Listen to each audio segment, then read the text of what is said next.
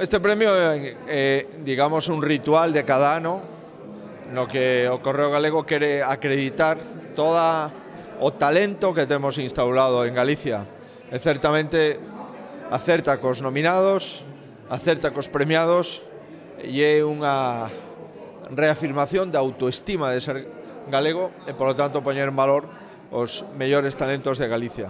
Este é un evento que se debe de producir e se produce, a pesar de todas as dificultades, que non son poucas, eh, especialmente as dificultades del Correo Gallego, pero penso que poñer en valor eh, os mellores galegos cada ano é eh, unha forma de apostar por Galicia. En Galicia hai inxenio, hai inteligencia, pero o inxenio e a inteligencia hai que cultivalas.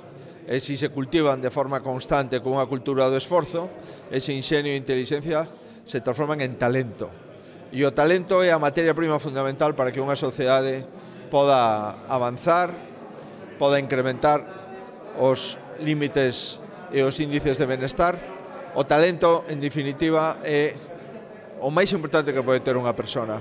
Se tuviéramos que elegir entre bens materiais, riquezas ou talento, está claro que deberíamos de elegir sempre, sin dúbida, o talento. Certamente Galicia demostrou ser unha sociedade madura e a pesar da nosa dispersión, 34.000 núcleos de población, pois acreditou que somos responsables, somos conscientes, e sobre todo somos consecuentes. Somos a comunidade autónoma con máis personal, con máis personas vacinadas con doble dose, e estou convencido que imos a seguir así. En todo caso, é certo que a situación é mellor, agora hai moitísima xente vacinada, pero os riscos non, non desapareceron.